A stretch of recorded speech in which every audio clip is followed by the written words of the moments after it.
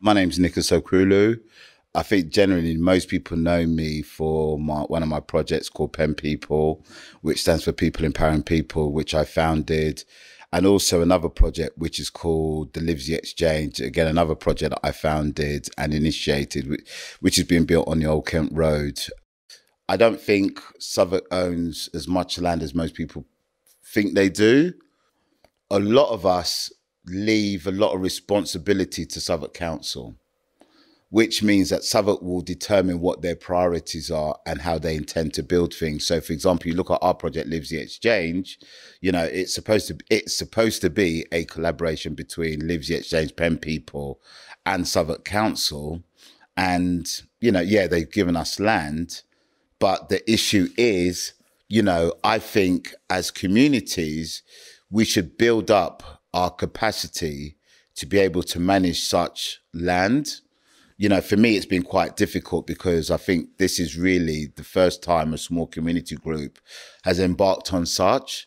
And, you know, what I will say is that it's not impossible. I think as communities, we need to learn how to leverage, you know, what we want. So, for example, instead of going and march, no offense, instead of marching down to Parliament and marching back again, you know, we should all club together petition our, our councillors, our MPs, and say that piece of land is available. We want it to be only social housing. Let's just say, for example, young people in between leaving their parents' homes and going on to build their own property.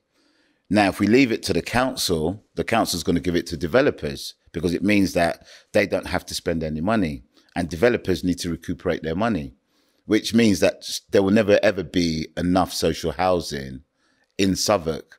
And I think, you know, the, the problem is, is that we've left everything to, and I will say this, you know, because personally I don't really care. Um, we've left it to Southwark Council officers who don't even live in the borough, who don't know what people are actually going through. So Southwark Council gave me a pop-up shop, which again, to my own financial detriment, um, I took on board galvanized a lot of people, also associated it to my tape project and other things that I was doing. They then gave us the garages just on Old Kent Road. And I think it wasn't a case of saying, oh, the council's not giving us money. It's like, you know what, we've got nothing. So let's start with nothing. So, you know, I've kind of built that up to a place that it's become to it's become a go-to place, really. Um, unfortunately, when Grenfell happened, we've got tower blocks just above us.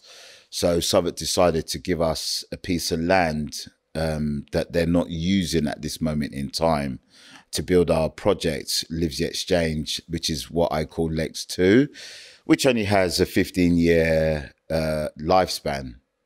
Um, and the question was, do you take it or do you not take it? Because everybody's saying, oh, don't take it. They should give it to you for as long as it's needed.